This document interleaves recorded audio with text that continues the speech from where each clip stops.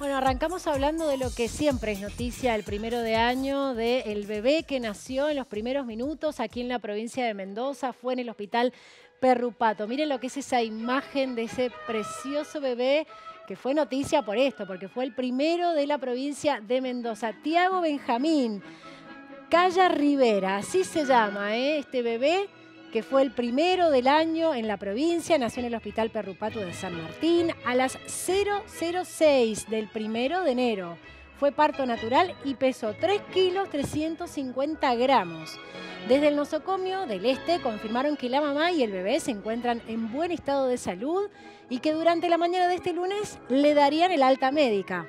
La mamá, María Soledad Rivera, tiene 25 años y este es su tercer hijo. Tiene una nena de 10 y otro de 6 años. Empezó con contracciones a las 19 horas del 31 de diciembre mientras estaba haciendo las empanadas para festejar el año nuevo.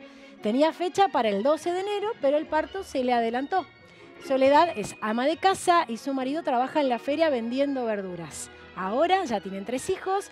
La familia es de Rodeo del Medio de Maipú y les mandamos un fuerte abrazo y un saludo y unas felicitaciones por ese precioso bebé que fue el primero de la provincia de Mendoza.